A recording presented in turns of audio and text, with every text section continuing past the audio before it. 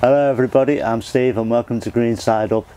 It's getting on for mid-November now, but I'm still planting, so this is November planting. so first up is, um, I've got some lettuce here, and this variety is called um, Amaze. Just lightly dug the soil over I'm just to put some blood fish and bone in, and just mix it up a little bit, just to give them a little bit of food. I mean, there's my soil is plenty rich anyway but I can't seem to put anything in the ground without me without me um, putting bloodfish and bone in. Love it. So this these should last about three months picking from the base of the plants as I do. It'll keep the keep the plant coming keep the plants tidy as well at the same time as uh, encouraging them to keep growing. And they should last oh I don't know 12 to 14 weeks I think.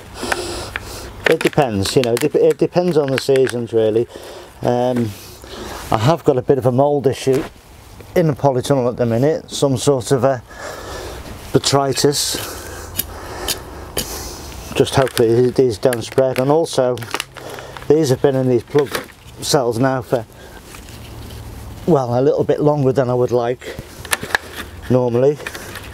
So there's a chance, small chance though, a small chance that they might bolt, but hopefully not. So I'll give those a little water in and I'll plant those somewhere else. There's quite a bit of planting to be done today, so um, I'll find a space for those anyway maybe over there. We'll see. But yeah we'll carry on. Go and plant some more stuff. So just having a look at what plants I have got here. Uh, these are on my hanging shelf and I've got sweet peas there. I'm not going to be planting them today. Um, there's some rocket there and some little bit of chard. There's all kinds of bits and bobs. I mean there's little couple of little lettuce plants there I might put in. And I think they're mustards in there. Yeah they're mustards red giants scooting along. I've got all kinds of plants at different stages. Some more chard there. These are haddock these are winter spinach. Komatsuna tender greens Japanese mustards. Their flowers for next year. Got some more rocket in here and some more lettuces some mustard red giants and I've got a, just behind me there's a tray of um, mustard ready to go in as well. The um, the sooner. So there's plenty to go at and what's left of those lettuce as well. So I'm going to go and plant those, start planting in the little tunnel. so you've watched the video this far through so far. Obviously you're enjoying it. So to enjoy further content, hit that big red button down there to subscribe and hit the bell, select notifications all, and then you won't miss any of my future content. It doesn't bite, I don't bite, this is gardening, I'm Steve, this is Green Side Up. What more do you need to know?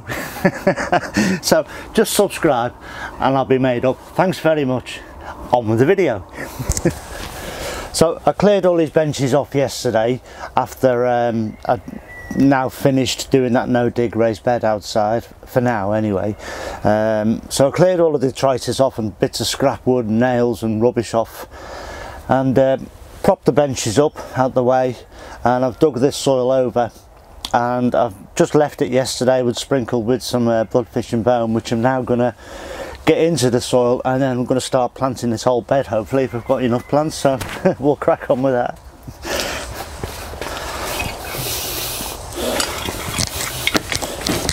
So it just wants uh, getting into the top couple of inches of soil really because watering and any soil activity and that will um, and the hoeing and whatnot will knock it down through the layers so I'm just getting it into the top layers before planting and that's it really and I'm just just, just using my claw.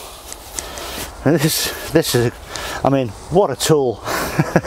But it's an old antique thing um, five prong cultivators I mean you can buy the three three prong ones just to get the middle three. But these are so much better cover such a bigger area. And I love it. As I say what a tool. Anyway that's that done. We'll get planting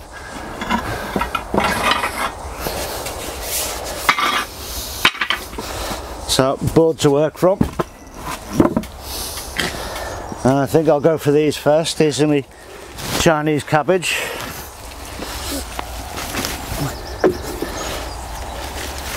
Yep, I've got a lot of these in this year. It's the same because normally they don't do very well at all for me.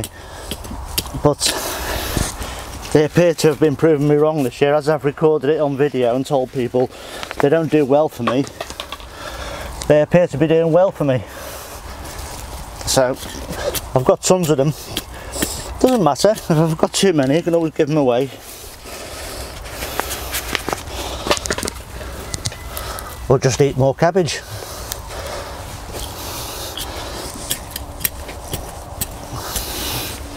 So I'm going to plant the first couple quite close.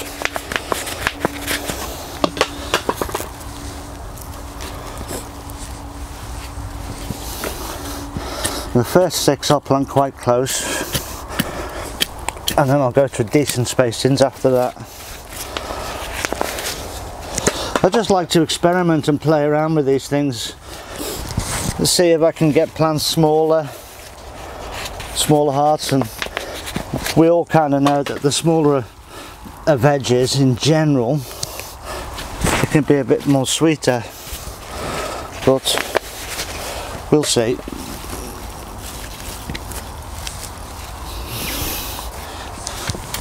So I've only got three left anyway now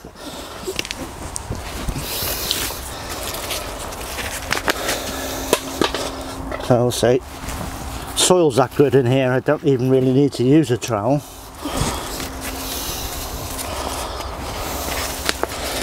This variety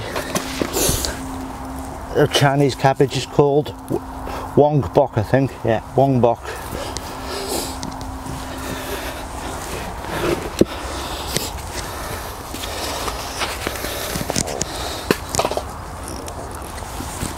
Now these are mustards, red giants. And I'm only putting six of these in. This bed is nearly full now.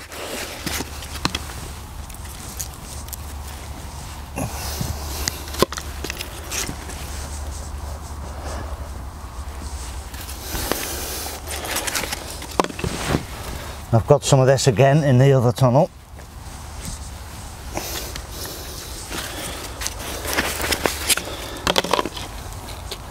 And planting these here. Will leave me with I think two or three other plants to, to use as hole fillers. You know as you lose plants or as you harvest plants just chuck another one in. It'll either grow or it won't and it's good to try. Don't give up just keep trying just keep putting plants in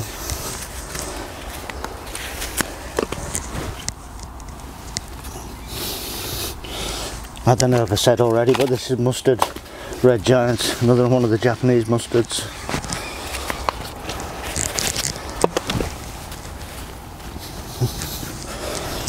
so there we go, that's them done. Right, this space really is enough room for two chard plants, possibly one. So what am I doing? I'm planting six. but the idea being I know that not all these will survive.